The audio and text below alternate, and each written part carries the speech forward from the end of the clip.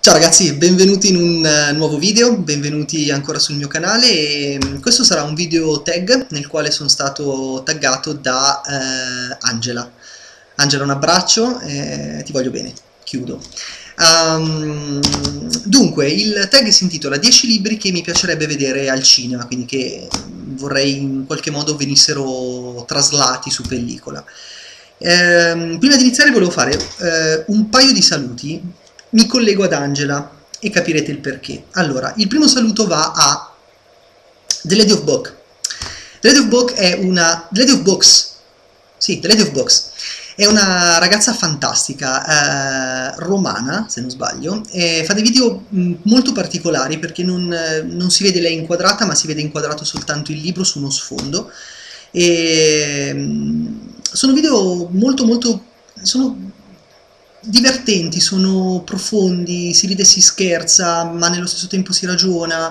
Eh, sono video semplici, sono video onesti ma di grande profondità. E um, The Lady Box è una ragazza che ho imparato a conoscere ad apprezzare al salotto di Angela, voi sapete che sul canale, e se non lo sapete sappiatelo, che se andate sul canale di Angela Cannucciari. Eh, c'è un salotto è aperto tutti, cioè entro io, quindi se capirete se non entrate voi. E lì si può fare un po' quello che si vuole. L'importante è portare da mangiare, eh, anche solo virtualmente. Eh, l'unico dettaglio, l'unica accortezza è nel momento in cui decidete di portare ehm, tipo pizzette o focaccia o cose del genere, eh, mi raccomando senza glutine. Quindi poi ci si trova, si ride, si scherza e con The Lady of Box abbiamo riso e scherzato tantissimo, quindi eh, la saluto e la, l'abbraccio, è una persona molto divertente. E poi saluto Andrea, dite chi è Andrea?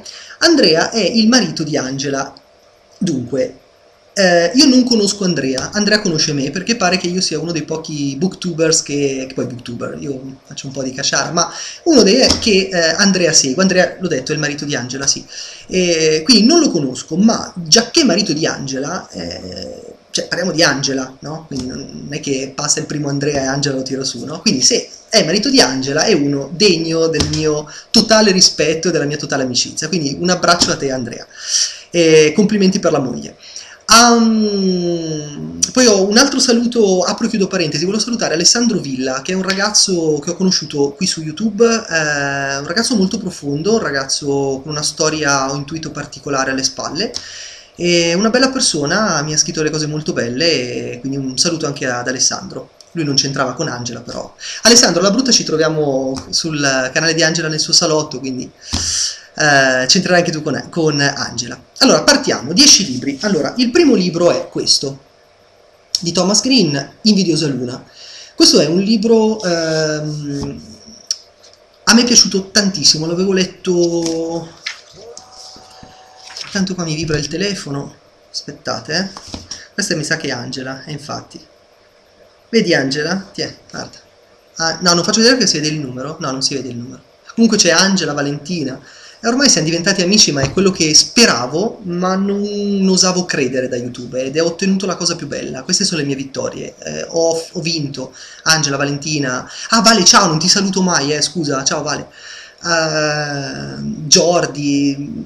Eh, siamo un bel gruppo d'amici, no? Ed è una cosa bellissima, bella, bella, bella, bella, bella. Eh, Alessandro, Andrea, un gruppone, no? Sempre più largo. Poi saluto Sabrina, saluto Valentina, l'altra, quella di Book Addicted, un'altra ragazza fantastica. Ne parliamo dopo di loro. Uh, dunque, questo libro l'ho letto, eh, l'ho letto nel 2007, esatto, ed è un libro molto bello che parla di mh, mm, amore, fondamentalmente, tra due ragazzi, un amore non voglio dire una parola perché altrimenti spoiler, diciamo che è una storia d'amore non... Eh, avevo in mente un paragone con un autore, ma se vi dico una storia alla uh, prima maniera, quel uh, sta per l'autore, Um, capite il genere, è una bella storia d'amore, ecco, tra due ragazzi, è un romanzo che lascia tanto, l'ho letto anni e anni fa ma me lo ricordo come se l'avessi letto ieri, ed è una bellissima edizione in uh, quelle prime, se vi ricordate, della Frassinelli, quelle vecchie eh, con questa sovracoperta un po' um, ruvida con uh, il um, segnalibro in tessuto, una bellissima edizione. Secondo libro, Figlia del silenzio di uh, Kim Edwards. Eh, questo è un libro molto molto molto pesante, nel senso che parla di due fratelli, un fratello ha più fortuna dell'altro, eh, anzi dell'altra. Um, è una storia di famiglia, di essere genitori. Um, io l'ho letto quando ero abbastanza ragazzino, è un libro di qualche anno fa, l'avrò letto, avrò avuto 18 anni credo, attratto dalla copertina perché mi ispirava, credevo fosse una storia di fantasmi, no? vedete questa, questa giacchetta che fluttua, quindi mi, mi, aspettavo altro in realtà. Poi ho letto la seconda di copertina, eh, ho letto alcuni commenti, tra cui questo per esempio del Washington Post, che dice chiunque rimarrà profondamente colpito da questo libro possiede una forza prodigiosa, è capace di commuovere ed emozionare, non perdetelo, e da qui altre.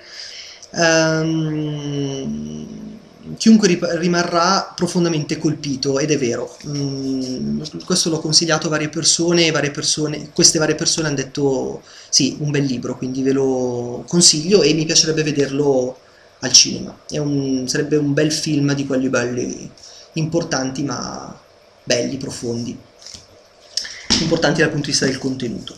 Poi Il potere del numero 6 di Pittacus Lore. Questo è il secondo libro di, di una saga di 1, 2, 3, 4, 5, 6 libri, mi pare, eh, una saga bellissima, eh, al cinema trovate, cioè al cinema in DVD trovate la mm, Io sono il numero 4, che è il primo della serie, ma a me piacerebbe che, ho preso questo ma avrei potuto prendere, cioè avrei dovuto prendere tutti gli altri perché vorrei tanto tanto tanto che questa saga venisse portata completamente al cinema perché merita è una storia d'alieni, una storia d'amicizia. Vi parlerò di, questa, di, questi libri perché quando finirò di leggere l'ultimo capitolo che è uscito da poco, poi vi racconterò la saga perché merita. E al cinema secondo me avrebbe tanto da dare, ma... La casa degli angeli di uh, Colin uh, McCallag.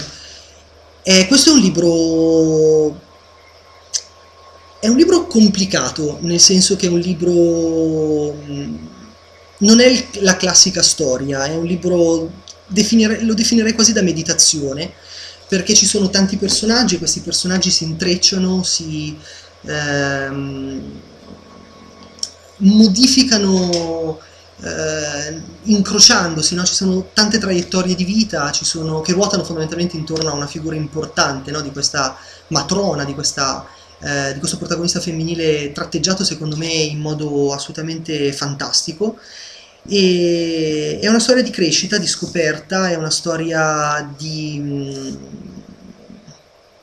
evoluzione direi anche, eh, umana e mh,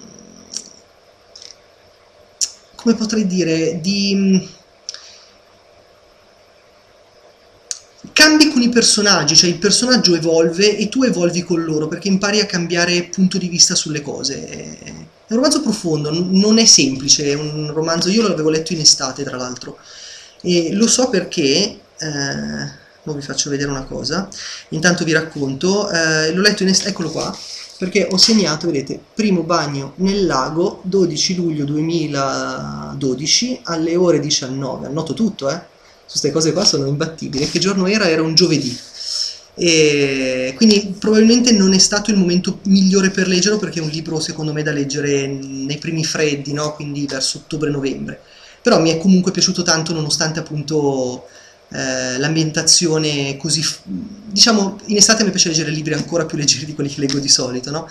Um, però um, la, diciamo, la, ho stoppato mi è arrivata una chiamata, rispondo dopo però l'ho apprezzato appunto nonostante la voglia di leggerezza che c'è in estate, quindi se lo leggete in inverno o in autunno lo apprezzerete ancora di più. E al cinema ovviamente ci starebbe granché, grandissimamente bene secondo me. Grandissimamente, che ne dite di sta parola? Questa volta tocca a te, di M.J. Harridge. Questo è un libro meraviglioso, eh, tensione, un thriller, eh, parla di un...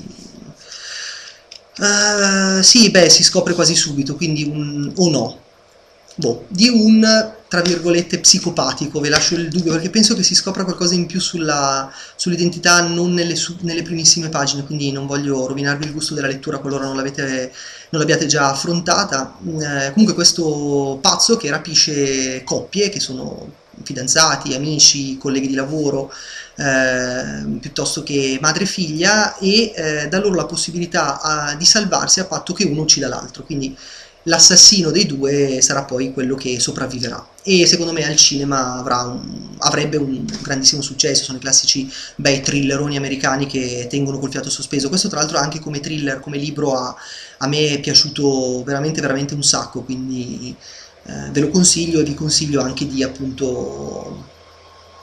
Eh, No, mi sto bloccando, scusate, perché sono 10 minuti, in realtà ho fatto pochissimi libri, quindi stopperò il video eh, quindi lo dividerò in due parti perché mi sono perso nella prima parte.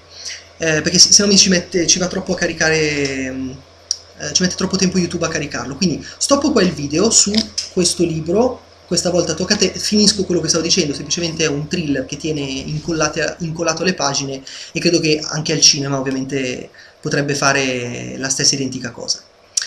Allora, stoppo qui per il momento, quindi questa sarà fine prima parte, eh, qui dietro ho il, um, gli altri libri di cui voglio parlare, quindi stoppo questo video e ci vediamo nel video successivo. A tra poco!